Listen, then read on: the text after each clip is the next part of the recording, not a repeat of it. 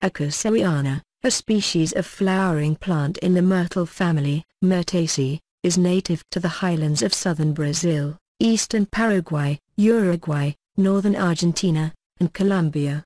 It is widely cultivated as an ornamental tree and for its fruit.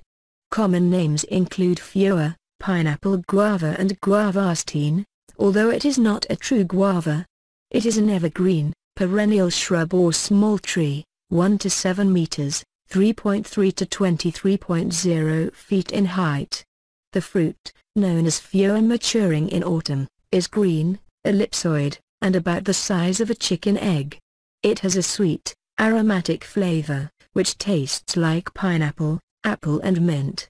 The flesh is juicy and is divided into a clear, gelatinous seed pulp and a firmer, slightly granular, opaque flesh nearer the skin.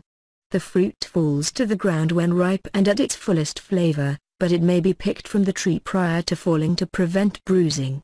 The fruit pulp resembles the closely related guava, having a gritty texture. The feijoa pulp is used in some natural cosmetic products as an exfoliant.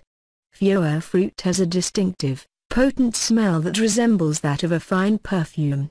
The aroma is due to the ester-methyl benzoate and related compounds that exist in the fruit.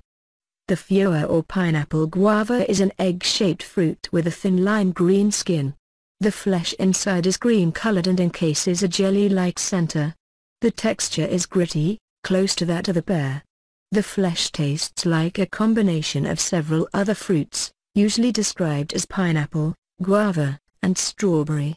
Some people report a taste similar to that of a quince or lemon. Feijoa is native to South America, but is now commercially grown in New Zealand and California.